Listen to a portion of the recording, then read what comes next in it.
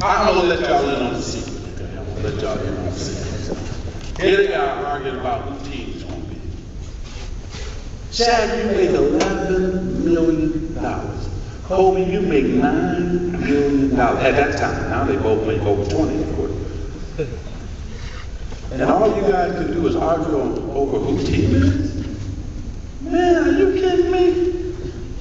When I played with Kareem, I said Kareem is your team. if they paid me 25, 50 million to come back, no, no, that's two, that's not enough. Uh, now let me just go, I'm just having fun. Okay, sir. Right hand. So we said, okay, we're gonna take off after the right hand, all five of us. So he just said, okay. Should have known something when he switched his tongue to the left side. now this man's still floating in air. He switched it to the left hand and went up against the glass and went in. Arkansas. Cooper and I turned to each other and said, should we ask you to do it again?